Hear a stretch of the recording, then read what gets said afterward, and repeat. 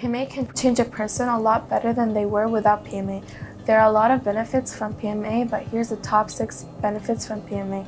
First, you get an increased lifespan. Second, it lowers rates of distress and pain. Fourth, it also greater resistance to illness, better physiological and physical well-being. And lastly, it makes your brain produce serotonin, creating a feeling of well-being. PMA is crucial because with PMA, you will be a happier person. Research shows that PMA slash gratitude makes us feel happier, healthier, and more productive. Positive thinking is a mental attitude that perceives situations in a constructive way. Also, a positive mindset is filled with hope, optimism, courage, and kindness. Gratitude slash PMA could look like giving someone a compliment or taking the time to notice and appreciate the things we sometimes take for granted, like food, water, having a place to live, friends, and family.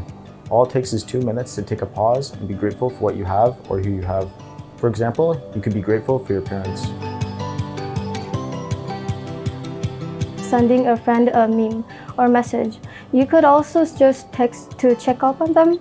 You could even call uh, them. Six ways to show gratitude is sending a thank you gift, writing a letter saying thank you, I really appreciate it, or returning the favor. You could also take them uh, out for a meal or help uh, the person outside like when they drop something. Maybe you could help them pick it up.